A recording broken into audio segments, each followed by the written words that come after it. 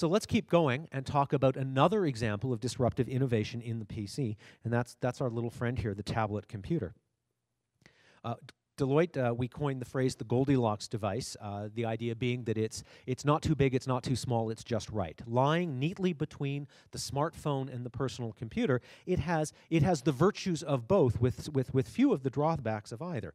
And, and our prediction at the start of the year is that these devices would sell more than 10 million units this year. As you know, we are on track for that. Apple is making more than 2 million, 2 million units a month the important bit about the, the Goldilocks device, the, the, uh, the, the tablet, is I think what it says about the personal computer industry, specifically about our friends at, at, at, at Microsoft and Intel who are wonderful companies and have been terrific innovators, but, but we have gotten to a point where I'll, I'll use a real world example. I was in, in, Dallas on Monday and zipped into Toronto, and then I uh, was in Edmonton last night, and now I'm here in Edmonton today, and I'm flying back to Toronto tonight, and tomorrow morning I go into my office at 10 o'clock. And I've got a conference call scheduled at 10, and of course, uh, being who I am, I show up at 9.59 and 30 seconds. Uh, Chris, uh, is Chris Lum still in the room? How many, how many of our calls do I make on time? I mean, I'm usually, I'm never 30 minutes late, but, but early is unusual. I am, you, you lie like a rug. Minute or two late. So at 10, 9.58, I land at my Deloitte office and I turn my computer on, but I've been out of the office for Monday and Tuesday and Wednesday.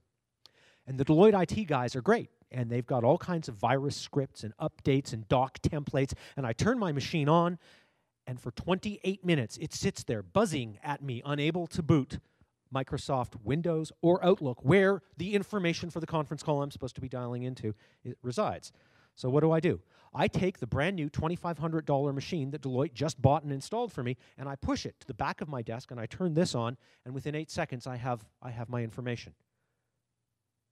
Did I just push a $2,000 professional enterprise grade machine to the back of my desk and take out a toy? Sounds to me like that's what I did. When, during the course of the day, my Windows machine freezes two or three times and hangs in the middle of some important task, I push the $2,000 machine to the back of the desk, turn on the toy, and once again I'm live and working. Why is it that the $500 toy is a better enterprise solution for me? What does that say about the personal computer industry? What does that and I'm not blaming Microsoft and I'm not blaming Intel. They have done an amazing job of taking an 8-bit 1976 kernel and running with that puppy for 30 some years. But is it the new computing paradigm of 2010 and 2015 and 2020? And a lot of people have been saying the PC is dead for years.